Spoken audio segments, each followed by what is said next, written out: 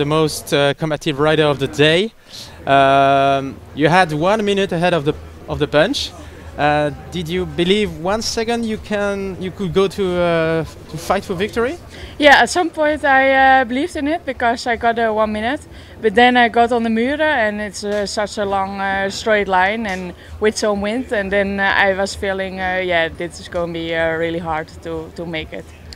The Moeren uh, without uh, any wind, it uh, remains uh, um, a crucial point in the race. Yeah, yeah. So it was really sad. It's not uh, enough wind to, to split the bonds.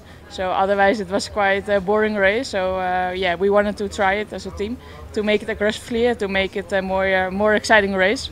So uh, I'm happy to to make that. Yeah.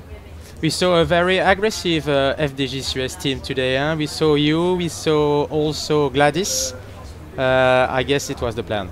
Yeah, we, wa- we really wanted to try it because we don't have the sprinter to win this race. So we really wanted to play it aggressively to uh, to get a chance by that. Yeah.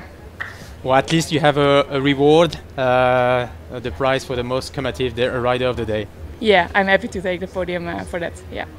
All right. Thank you very much, Nina. Thank you. Thank you.